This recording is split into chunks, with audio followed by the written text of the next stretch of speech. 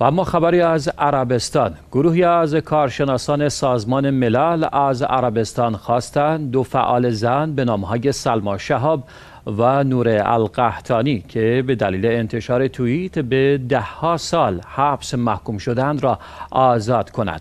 کارگروه بازداشت های خودسرانه تیمی از کارشناسان وابسته به دفتر کمیساریای عالی حقوق بشر سازمان ملل در گزارشی اعلام کرد که احکام حبس صادر شده علیه سلما شهاب و نور القحتانی در پی انتشار چند توییتر توسط آنها خودسرانه بوده و این دو فعال زن سعودی باید آزاد شوند. کارگروه بازداشت های خودسرانه اعلام کرده که شهاب و القحتانی به صورت خودسرانه بازداشت شده اند و لذا باید آزاد شوند.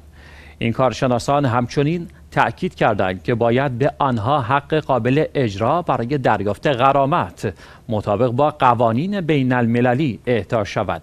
طبق گزارش این تیم شواهدی موثق مبنی بر بدرفتاری با سلما شهاب و رفتار غیر انسانی و غیر حرفه‌ای با وی در زندان وجود دارد و این بدرفتاری شامل تهدید، توهین، آزار و اذیت و اتخاذ روش های نامناسب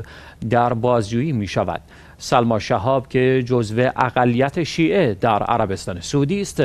در حال ادامه تحصیل در مقطع دکترا در انگلیس بود که مقامات عربستان ژانویه 2021 هنگام حضورش در این کشور او را بازداشت کردند طبق گزارش ها وی پیش از برگزاری دادگاه 285 روز در سلول انفرادی زندانی شد تا اینکه مارس 2022 توسط یک دادگاه تخصصی در پرونده های مرتبط با تروریسم به 35 سال حبس محکوم شد. دادگاه سعودی نور القحتانی را نیز به دلیل انتشار مطالبی در شبکه‌های اجتماعی به 45 سال زندان محکوم کرده است.